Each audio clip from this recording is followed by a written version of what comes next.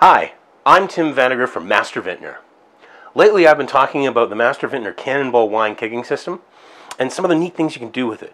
Essentially, because you can store 1.75 US gallons of wine in a sealed purged container where oxygen can't get at it, you can dispense one glass or one bottle at a time, keep it in the pantry, or if it's got white wine in it, keep it on a standard shelf in any refrigerator and you'll have chilled wine at any time. One glass, one bottle, one party, one picnic, one tailgating event, anything you want to do with it. It's a fantastic way to get some more utility out of your wine and take it great places. But you may say to yourself, is this a one trick pony? Is it just a way to carry around wine? Not at all. Because it's got other uses as well. Such as, let's say you get invited to a party and you want to bring over some of your world famous sangria.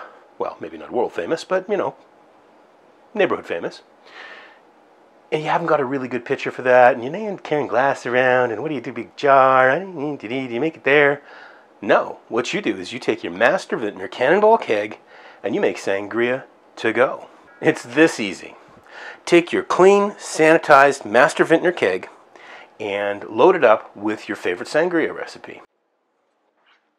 All right, to make my sangria, I'm going to add two bottles of my favorite wine.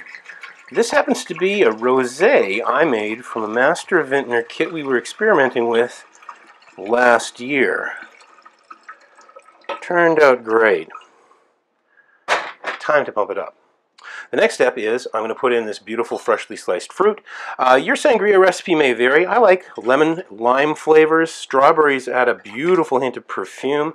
Uh, and these will all come out as the Master Vintner wine macerates beautifully over time.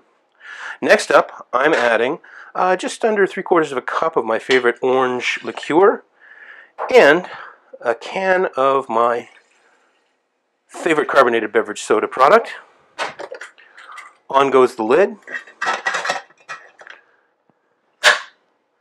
Now, we're going to purge this. We're going to let it sit in the fridge for about Oh, a couple hours would do, but overnight it'd be just fine as well. And then it's time to go to the party. All right, it's a couple hours later. This has been sitting in the fridge, chilling nicely, and let's try our sangria. Notice how with Master Vintner I can take one glass or two or any number that I want, and I don't have to worry about the rest of it oxidizing or spoiling. This sangria will be good for weeks. I don't think it's going to last that long, though. Oh yeah, fruity summer in a glass. The Master Vintner Cannonball wine kegging system gives you options for using your wine in ways that have never been possible before. You can use as much as you want or as little. You can carry it anywhere. It fits into a standard cooler so we can keep this sangria chilled on the patio. And it's just a lot of fun. I really like it. Master Vintner, uncork or just pour. Something special. I'm Tim Vandergrift from Master Vintner. Cheers.